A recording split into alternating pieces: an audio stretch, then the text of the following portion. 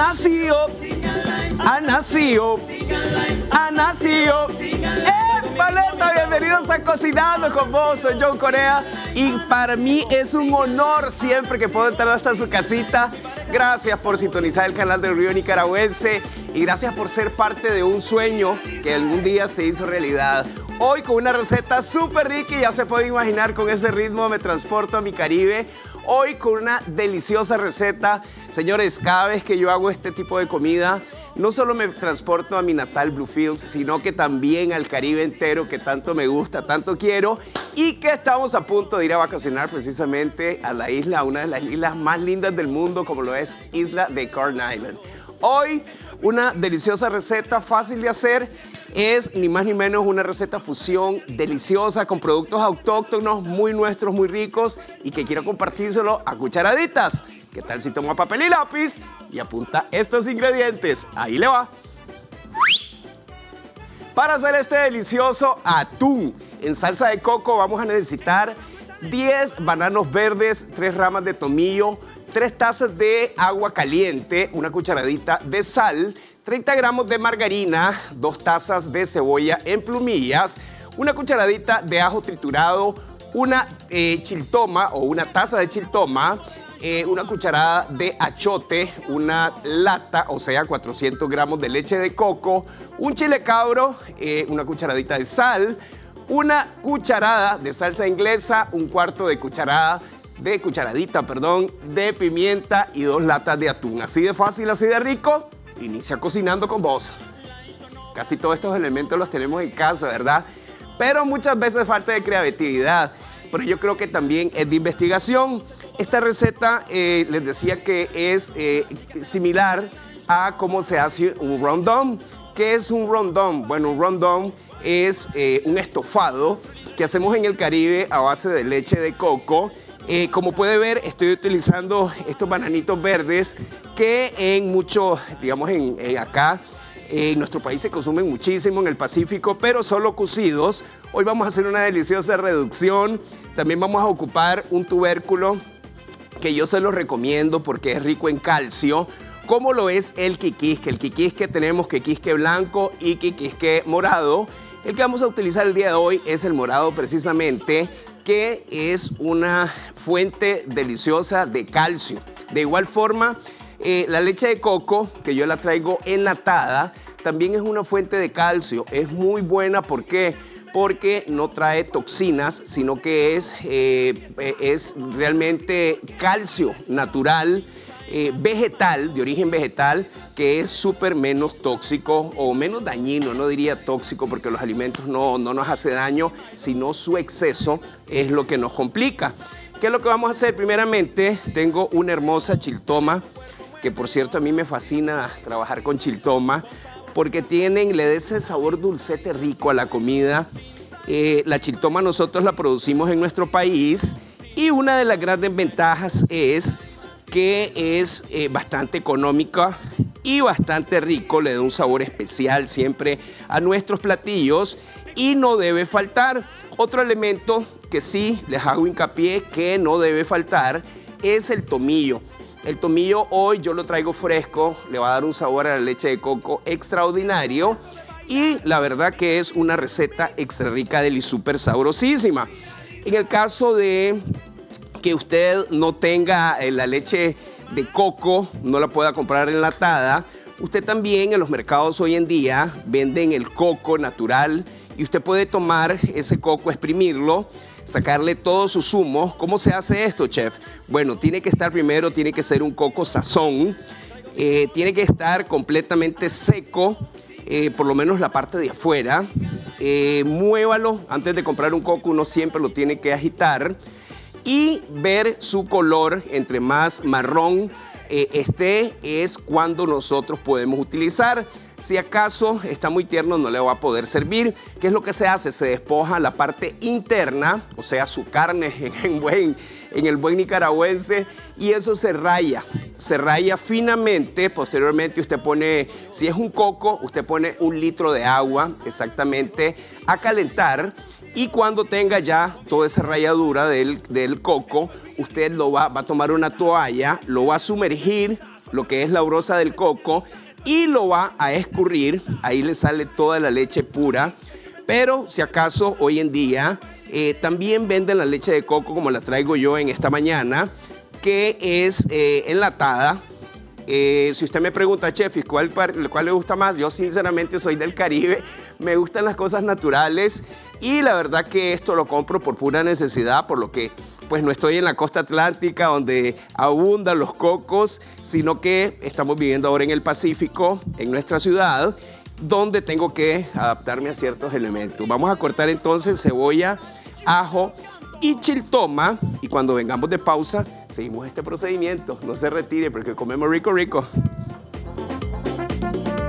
¿Quién diría, verdad? Son deliciosísimos estos bananitos cocidos cuando uno está comiendo comida nacional. Qué rico que se siente, ¿verdad? La sensación en el paladar y el gusto que da comer un bananito así de esos cocidos. Son solo verlo, un poquito de sal nomás y queda delicioso, ¿verdad? Pues hoy usted lo va a empezar a hacer en reducción de coco. Yo tengo ya la chiltoma, la cebolla y el ajo.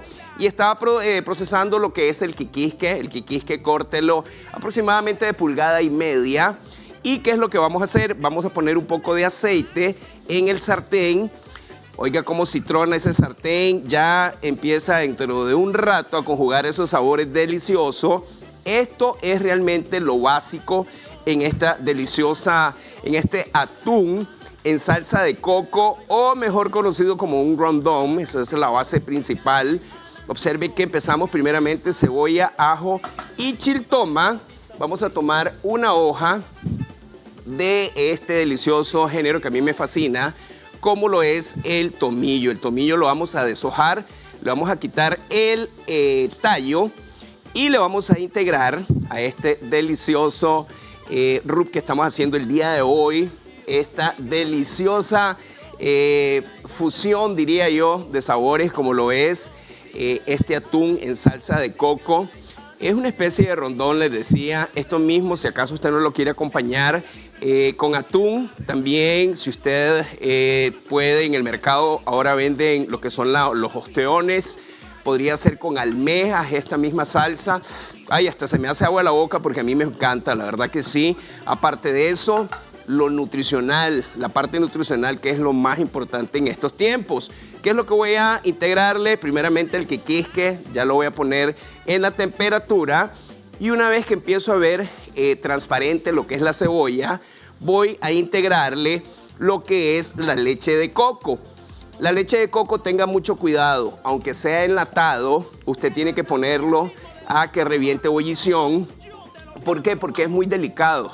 Es muy delicado, se le puede cortar con mucha facilidad, más fácil es más eh, que la leche entera ya que la leche de coco es rica en, eh, tiene una grasa vegetal que es bastante fuerte y por ello el ácido graso que tiene es bastante, es por ello que se tiene que dejar siempre que reviente ebullición. ¿Para qué? Para cuando usted le integre los otros ingredientes, usted no tenga problema alguno de que se le vaya a eh, dañar, ¿verdad? Sino que simple y sencillamente eh, póngalo que reviente ebullición y posteriormente póngale el resto de los ingredientes. Yo para ganar tiempo ya le puse el quiquisque, porque el quiquisque es uno de los que tienen la textura más gruesa. Y hay dos formas de ponerle los bananos verdes. Vamos a hacer la número uno. La número uno es cortarle la parte superior e inferior y cortarlo por la mitad. Posteriormente usted sin tocar la parte interna, ráyelo y póngalo a cocción por aparte, eh, hasta que esté una textura no tan suave, sino que le quede bastante rígido, usted se lo integra a lo que es la reducción.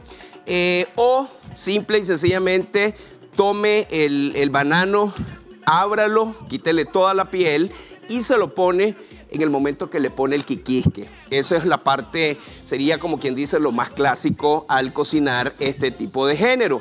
Otro es ya tenerlo cocido, les decía, y simple y sencillamente con sus manos usted se lo va a integrar. Queda el bananito completamente limpio y es sumamente más fácil si acaso usted no quiere marchar sus manos o tiene eh, poco tiempo para hacer esto. Esto usualmente eh, lleva un tiempo bastante dilatado, eh, por lo que se trabaja con coco pero si acaso usted lo quiere hacer más fácil, hágalo como lo hice yo en este momento, que es súper más fácil, súper más rápido y le queda con el mismo sabor.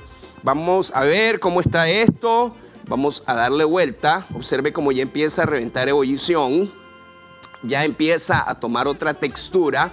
Le da un aroma delicioso lo que es el tomillo.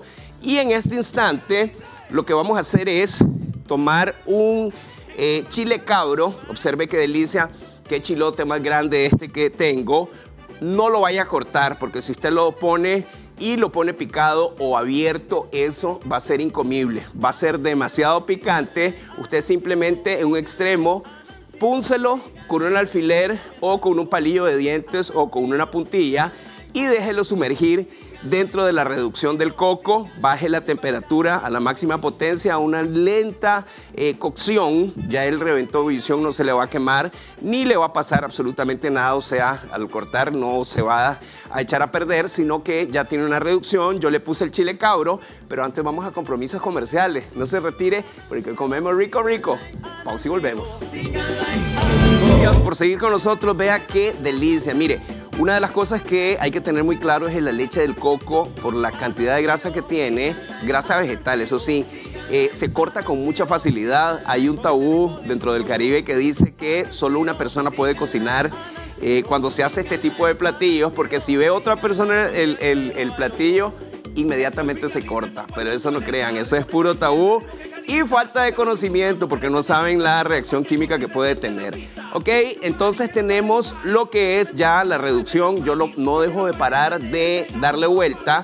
Uso una cuchara de madera y como ya estaba reventado de ebullición, le integro lo que es eh, el achote. El achote, eh, miren, yo una de las cosas que antes yo como que tenía cierto temor por la mala publicidad que tenía el achote, era porque era grasa, pero me doy cuenta hoy en día la cantidad de beneficios que trae las personas que tienen, por ejemplo, eh, padecimientos eh, en la sangre, sanguíneos, o que tienen eh, debilidad, que se caen con facilidad o se marean con facilidad, empiezan a comer achote porque es rico en hierro, primeramente, y la verdad que es buenísimo, buenísimo. Es una vitamina natural. La verdad que en todos los elementos, en los vegetales, en las frutas, en las verduras, existen todo lo que usted necesita para que se mantenga al 100% su salud.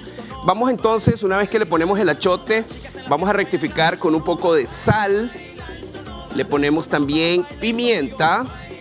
Observen qué delicia. Yo lo tengo en la temperatura más baja esto con el sentido de que se cocine eh, paulatinamente, eh, lentamente y no lo dejo de eh, mover, lo muevo sin cesar para que se vaya cociendo. ya le integré lo que es el quiquisque, el quiquisque casi casi que ya está suavecito. Y en este preciso instante vamos a ponerle lo que son los bananitos verdes, que yo les di los dos procedimientos el que sea más fácil creo que sería el conveniente para que usted no se vaya a enredar, sino que lo haga de una manera más espontánea y más fácil. Yo ya le había puesto eh, las hojitas del tomillo, pero le dejo dos ramilletas de más para que expulse eh, todos esos aromas deliciosos. Esto tiene un aroma exquisito, el tomillo le da una personalidad increíble. Y ya ni se diga el chile cabro, me decía un compañero ahorita tras bastidores, me dice, chef, tenga cuidado con ese chile porque eso sí pica de verdad. No tengan problema porque yo simple y sencillamente lo pulsé, le hice uno con un palito o con una puntilla y va a quedar, realmente no queda tan, tan, tan picante, sino queda eh, con un sabor delicioso. El bananito se va a impregnar de esa leche de coco y eh, lo que es la, la, la cebolla, chiltoma y el ajo hacen con una conjugación deliciosa en sabores. Es eh, súper, pero súper eh, nutritivo. Yo se lo recomiendo. Cómalo tal vez al almuerzo. No se lo recomiendo que coman a la cena porque es muy, muy, muy pesado realmente. Eh, y sí, es recomendable comerlo a horas tempranas cuando la digestión puede hacer su efecto con normalidad. Vamos a compartir nuevamente la receta. Tome papel y lápiz y se la comparto. Ahí le va.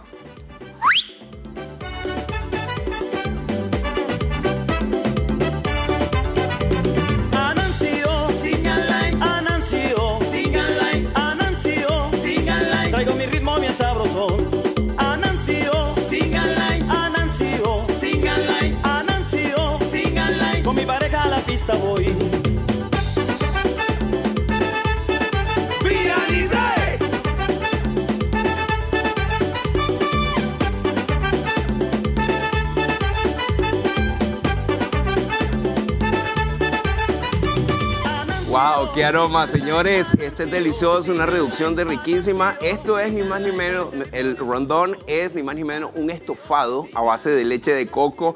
Queda delicioso. Y me decían, chef, no le falta una yuca a esto. Miren, esto sí también eh, lo que lleva es dos tubérculos importantes, la yuca, el quequisque y el bananito verde, pero yo lo quise hacer un poco más liviano, simplemente le puse quequisque y bananito verde, pero si usted tiene una alternativa y le gusta mucho la yuca, perfecto, usted puede integrárselo y le va a quedar estupendo. Recuerden que es a fuego bastante lento y tiene que cocerse al 100%. ¿Cuál es el término que tiene que tener? Usted va a tomar una puntilla y va a medir si el quiquisque está suave, está blando, es que este delicioso platillo ya está. Pausa comercial y venimos en unos segundos, no se retire.